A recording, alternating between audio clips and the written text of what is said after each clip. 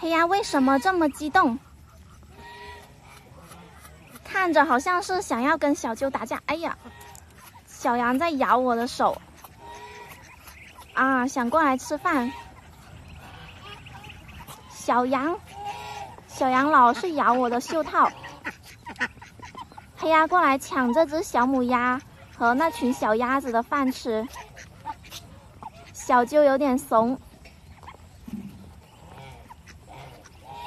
小鸭子在后面，在后面，可能是吃饱了，没过来。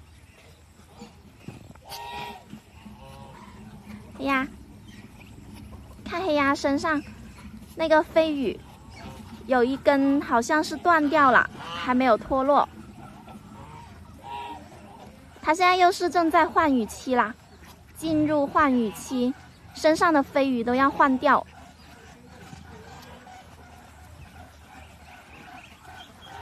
哎，小鸭子来了，怎么在那里跟他妈告状？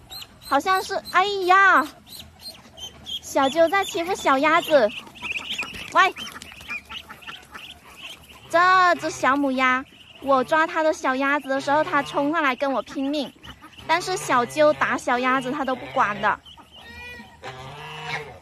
给你们看看这只母鸭子有多双标。你看，怎么我抓你就来了呢？刚刚小鸠打你的小鸭子，你都不管，我一抓，然后它就过来找我拼命。啊？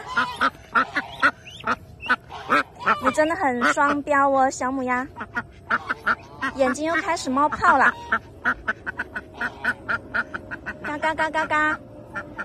你刚刚怎么不这样？刚刚你宝宝被欺负，你怎么不这样？你就知道欺负我是不是？小鸭子好大只了！哎呀哎呀哎呀！咬我，咬我！下次要一直保护你宝宝，懂不懂？小鸠打他的宝宝，他都不管的，气死我！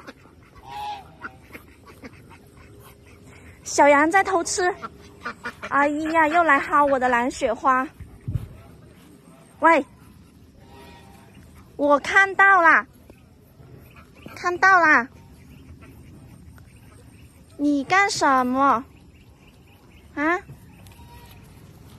哎，撞我！撞我是不是？还想薅？不得，不可以！你看。一揪它耳朵，然后它就到处乱窜。不要吃花花，不然就不放你过来玩了。去去那边玩。